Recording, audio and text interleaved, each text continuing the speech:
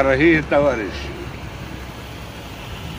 уважаемые зарубежные гости, в эти дни советский народ, коммунисты всех стран, все прогрессивное человечество торжественно отмечают величайший праздник. 60 лет назад рабочие и крестьяне России, руководимые партией Ленина, свергли власть капиталистов и помещиков.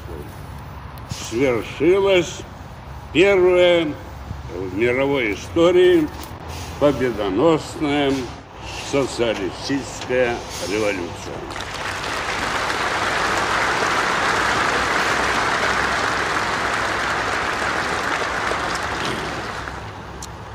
Незабываемые октябрьские дни всколыхнули всю планету.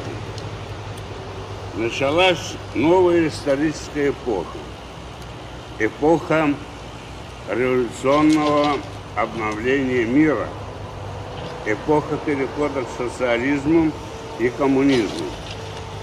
Начался путь, по которому сегодня идут сотни миллионов людей и по которому суждено пойти всему человечеству.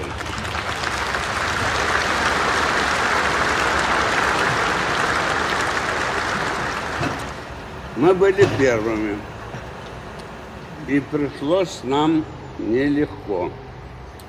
Надо было выстоять в кольце враждебного окружения, надо было вырваться из вековой отсталости.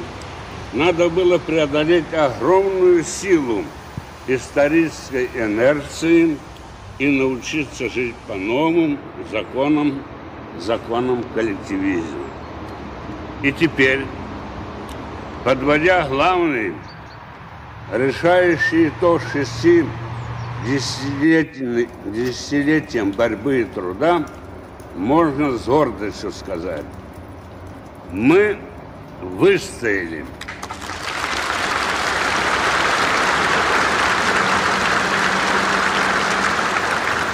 Мы выдержали. Мы победили.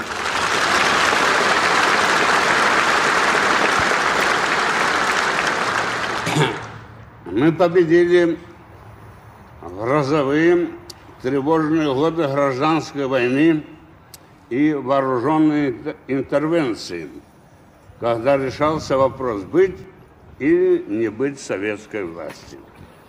Мы победили в стремительные бурлящие годы первых пятилеток, когда решался вопрос, смогут ли рабочие крестьяне нашей страны в отведенной им истории – кратчайший срок заложить основы социализма, превратить Родину в могучую индустриальную державу.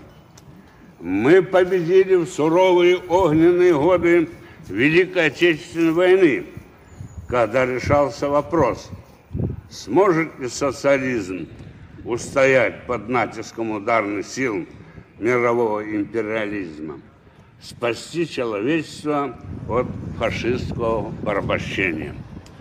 Мы победили и в сложные, напряженные послевоенные годы в обстановке холодной